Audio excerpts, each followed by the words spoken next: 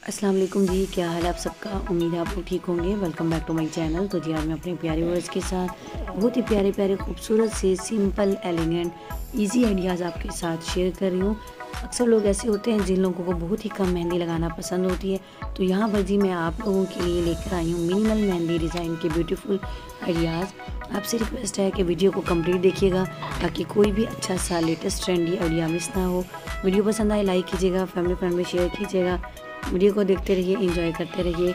Comment करके बताइएगा कि आपको ये तमाम आइडियाज़ कैसे लगे हैं।